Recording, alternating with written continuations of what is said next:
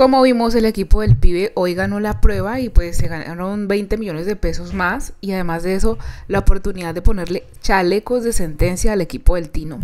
En una discusión en su equipo llegaron a la conclusión de que Luisa y Alejo por rendimiento deberían repetir ya que tenían más posibilidad de irse, lo cual generó mucha discordia en Luisa a la hora en que este olímpico le fue a entregar el chaleco.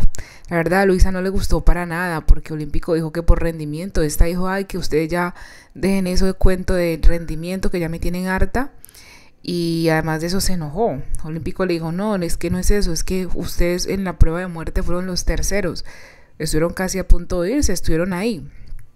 Igual Luisa, aunque se despidió bien al final, los trató incluso hasta de estúpidos, muy enojada, indignada.